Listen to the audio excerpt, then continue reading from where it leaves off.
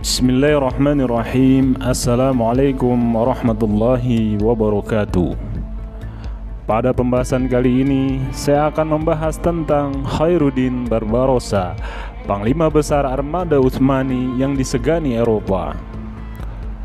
Khairuddin Barbarossa Seorang kesatria laut yang disegani bangsa Eropa ia adalah Panglima Laut Utsmani yang juga mempunyai julukan Singa Laut Mediterania, lautan luas yang melintasi tiga benua, Eropa, Afrika, dan Asia. Semasa hidupnya, Spanyol dan Italia dibuat tak berkutik. Kemenangannya melawan Spanyol pada abad ke-16 membuatnya tak berhenti untuk menaklukkan beberapa negara Eropa. Sejumlah negara seperti Malta, Portugal, negara Kepausan, Genoa, dan Venesia pun berhasil ditaklukkan. Hayreddin Barbarossa diperkirakan lahir pada akhir tahun 1470-an atau tahun 1480-an.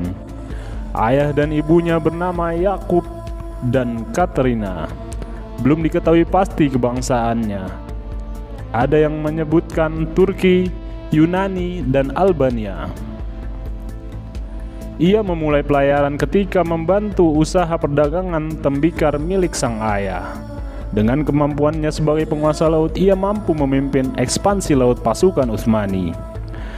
Pada tahun 1518, Herudin Barbarossa menjadi penguasa Aljazair menggantikan sang kakak, Aruj, Selanjutnya pada tahun 1520, pada masa pemerintahan Sultan Sulaiman yang agung, Utsmani membantu Aljazair dari serbuan pasukan Spanyol. Khairuddin Barbarossa pun menawarkan Sultan Sulaiman yang agung untuk memanfaatkan pasukan armada lautnya sebagai ucapan terima kasih. Barbarossa menawarkan Sulaiman penggunaan armada lautnya Khairuddin Barbarossa memimpin sejumlah penaklukan Utsmani ke berbagai kawasan yang merupakan pulau-pulau yang dikuasai oleh bangsa Kristen. Pulau Rhodes pada tahun 1522, Khairuddin Barbarossa membantu Utsmani menaklukkan Pulau Rhodes yang menjadi benteng Satria Estejon. Prajurit perang salib atas keberhasilannya, ia pun dilantik sebagai gubernur Rhodes kota-kota Mediterania. Pada tahun 1530-an, terus berupaya merebut daerah pelayaran Kristen dan melakukan serangan ke kota-kotanya di sepanjang Mediterania. Venesia sampai sepanjang pantai selatan Yunani.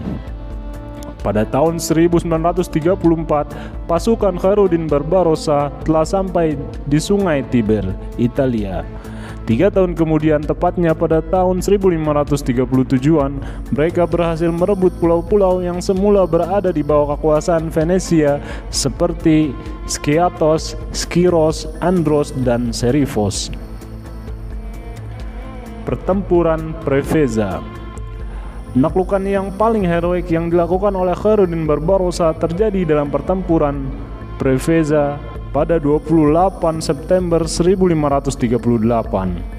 Saat itu pasukan laut kaum muslimin mampu mengalahkan pasukan yang dikoordinir oleh Paus Paulus III. Padahal kekuatan armada Utsmani pada waktu itu tidak seimbang dengan kekuatan pasukan Paus yang terdiri atas 157 armada kapal. Sementara pasukan Barbarossa hanya memiliki 122 kapal merupakan kemenangan besar bagi Khairuddin Barbarossa. Meskipun jumlah mereka lebih kecil, armada Utsmaniyah melakukan serangan dan menabrak upaya pengepungan Doria. Pada pertempuran tersebut, sebanyak 10 kapal berhasil ditenggelamkan, 36 kapal ditangkap dan 3 kapal dibakar. Selain itu, sebanyak 3.000 orang ditangkap, saat itu Usmani tidak kehilangan satu kapal pun, 800 orang terluka dan 400 orang gugur. Kemenangan di Preveza mengantarkan Khairuddin Barbarossa pada puncak karirnya sebagai Panglima Laut Utsmani. Selain diangkat sebagai Laksamana Agung Angkatan Laut Utsmani, ia juga diangkat sebagai Gubernur Utsmani untuk kawasan Afrika Utara. Kemenangan di Preveza memberikan dominasi kekaisaran Ottoman di Laut Mediterania yang berlangsung selama lebih dari 30 tahun. Barbarossa memanfaatkan dominasi itu untuk membersihkan semua pulau di laut Aegea, dan Laut Lonia dari benteng Kristen. Kelly mengungkapkan Khairuddin Barbarossa mengakhiri ekspedisi lautnya pada tahun 1545. Tahun yang sama dengan tahun pengunduran dirinya sebagai Panglima Angkatan Laut Utsmani. Setahun kemudian, tepatnya 4 Juli tahun 1546, Khairuddin Barbarossa wafat. Jenazahnya dimakamkan di Barbaros, Turbesi di Istanbul.